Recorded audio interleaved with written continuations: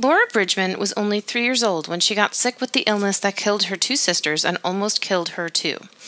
Born on December 21, 1829, she lived at a time before doctors were widely trusted. When she was seven, Dr. Samuel Gridley Howe brought her to his school, the first school for the blind in America, and what would later be Perkins School for the Blind.